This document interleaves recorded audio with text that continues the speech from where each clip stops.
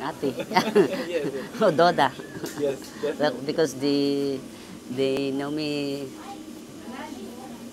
all of Doda Lina Dodalina? can. I thought you were Atelina.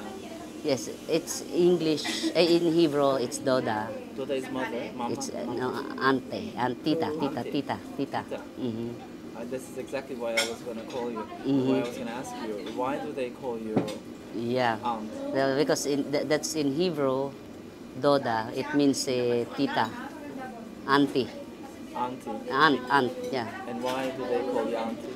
Yeah, because uh, I'm the the not only the age. I'm the eldest in the. I'm oldest here in the society. So when did you arrive to Israel?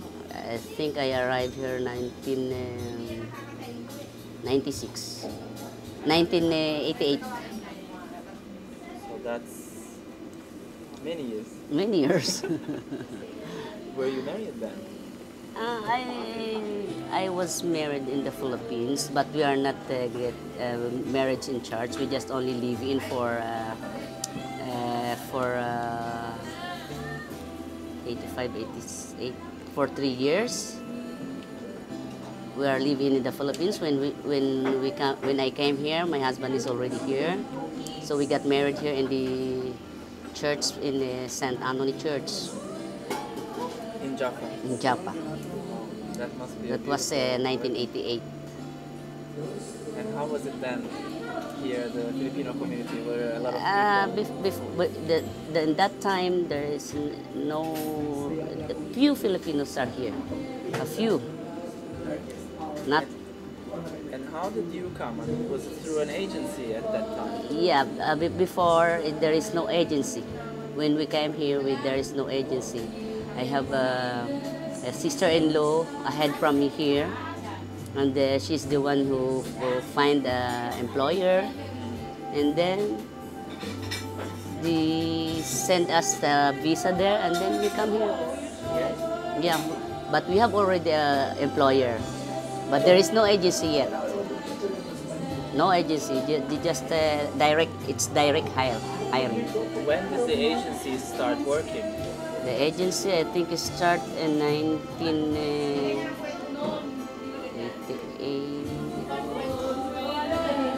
I think 90. I think 1990 or 92, something. uh, Supposed to be 9 90 to 92. They start the agency, but with, with there is no yet uh, agency fee. No collection of agency, no collecting uh, uh, agency fee. And you are very involved in your community here. Before coming to Israel, were you also doing similar social um, In the Philippines? in the Philippines social work? Yeah, in the school. In the school during uh, high school. So I'm already in the if there's a juniors and seniors prom, I'm also officer of the in the school. And when you arrived here, did you start working in the social affairs immediately, or did it take you time to start being involved in the community to do No. social work? No, we the the community starts only I think early 2000 uh, 2000 something that. So there is no community yet in that time in uh, 1988 to 1990 92 because uh, the Filipino here is a few few. I think there is no 500 uh, Filipinos here. When you first came? Yeah. And how many are there now? Now I think more or less 30, 30,000, First, uh, more or less. In one of the magazines for the Filipino guest workers, I have seen an advice from uh, a Filipino guest worker who just arrived in Saudi Arabia. And it was saying what you should do not to feel lonely in a country where you are very new. hmm Um, here you've been so many years, but you are one of the first people to come. hmm And there are some people, uh, maybe you were lucky because your uh, partner was here, but there are so many people who come here alone. hmm Uh, what do they experience in the beginning? In the beginning, in the beginning, they are homesick. They are homesick, but uh, we we did not take the homesick. That one month to three months to six months, it's a big uh, homesick for uh, for the foreigners because they separate to their family, to their children. So it's a very big uh, homesick. You cannot imagine. yes, once a Filipino worker comes here, they are not only coming to Tel Aviv, sometimes they are going to small towns, Yeah, which is not connected uh, to Tel Aviv. yeah. So, and six days of the week they are working there. So, how do they get in touch with other Filipinos in the country?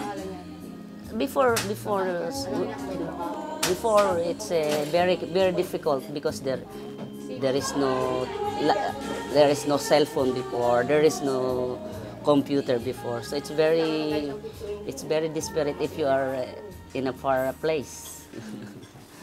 For example, when you first came, not the first year, but maybe the second and third year, uh, did you get surprised when you met some other Filipinos coming from other parts of Israel to Tel Aviv?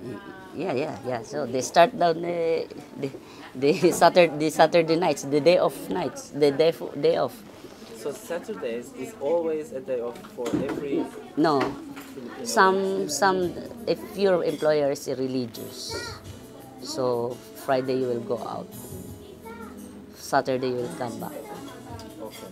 so some also uh, saturday and then sunday is coming back so But there's always one day break. yeah 20, 24 hours before 24 hours before now they approved the 26 hours and then i think now the the agency eh, make it eh, 36 hours but the employer some of the employer doesn't agree the 36 hours And have you heard of any cases that some employer doesn't want the worker to have any break at all?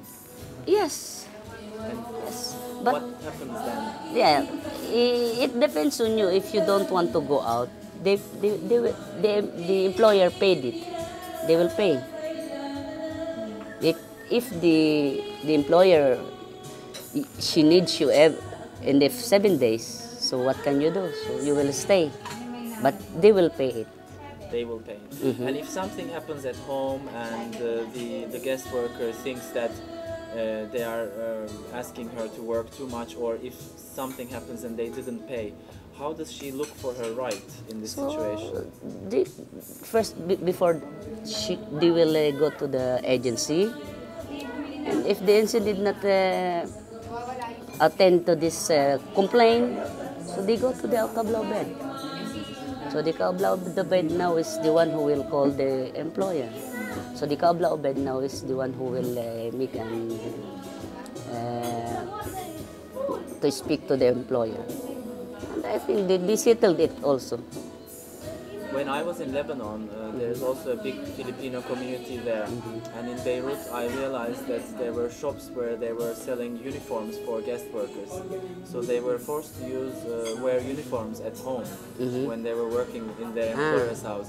Do you have anything like No, that no. in Israel? Here in Israel, it's, No. it's different. It's, it's not uh, even what, what you use. They don't. Uh, And uh, which part of the Philippines are you from? and I came from uh, Bicol region, and in, in I think in uh, Masbate, Masbate. It's in part of Bicol. It's in Luzon, because uh, Philippines is Luzon, Visayas, and Mindanao. So we are in Luzon, but uh, it's in Bicol region, region five. Region 5. Mhm. And uh, is the Filipino community here uh, divided into these sections? Clearly divided? Yes, the, that's why the, that's why the organization is if you are uh, uh, if you are uh, Ilocano, their their association is Samahang Ilocano. So uh, like the Ilongo tribes, Ilongo tribes, that's a Bisaya. It's uh, in another uh, uh, Visayas uh, region.